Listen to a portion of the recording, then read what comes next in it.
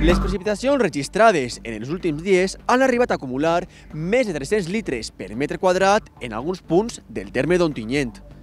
Aquesta acumulació d'aigua ens ha deixat imatges com la crescuda del riu Clariano, que des de feia mesos no l'havien vist tan ple, però també algun desperfecte que altre en el mobiliari urbà provocat per la força de la pluja.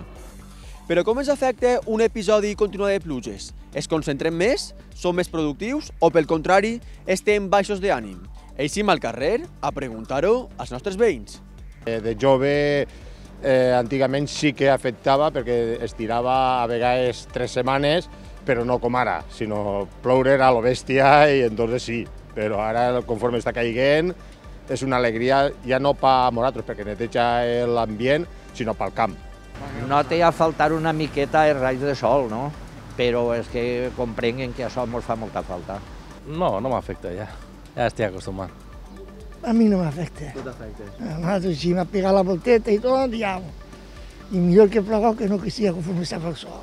El aire es lo que fot. Home, un poquet avorrit, però també s'entén que fa falta. Ja tornarem a tindre el sol quan corresponga, no? Dic jo. El mes de març és sinònim de rècords. Només en el que portem de mes ja ha plogut el 60% del que se sol registrar en un any. Així ho explica Pablo Guerra, responsable de l'Observatori Meteorològic del Col·legi La Concepción d'Ontinyent. Marzo va a pasar a la historia de la meteorología de Ontinien. El récord de lluvia eh, de marzo era 1953 con 195,3 litros.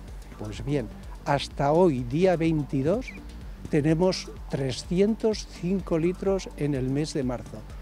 Una tremenda barbaridad, algo inaudito para la historia de la meteorología de Ontinien. Tot i les precipitacions prolongades en el temps, els veïns i les veïnes d'Ontinyent veuen en bons ulls l'aigua caiguda del cel. A mi em pareix perfecte, i més conforme ha caigut si no en tenien, perquè si mires les notícies en molts de puestos ja veus com ha caigut. Però si no en tenien, perfecte. La preocupació és quan plou molt fort, perquè jo, per exemple, visc en el camp i veus les destrosses que poden fer, però caient conforme ha caigut, per mi perfecte. A mi em pareix de meravella perquè això mm, per la sequia va de meravella. I gràcies a Déu que està ploent com Déu mana i no mos perjudica en res. Jo de moment estic contentíssim. Jo, per lo menos, en el meu cas, molt bé, perquè fa falta aigua i la veritat és que està caient molt bé i de moment, pues, relativament bé.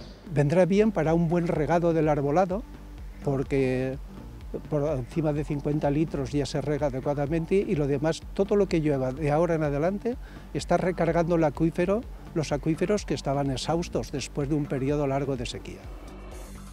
Els ruixats, que no han deixat treva ni un sol dia, obligaven al júnior de Sant Josep a ajornar la crema de la falla del passat dissabte a aquest cap de setmana.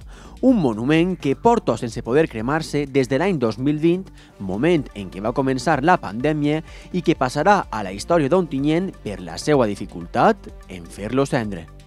Malgrat l'episodi de pluges viscut aquests últims dies, la previsió meteorològica continua marcant precipitacions per a tota la setmana, motiu pel qual la celebració de la cremà continua estant en el punt de mira.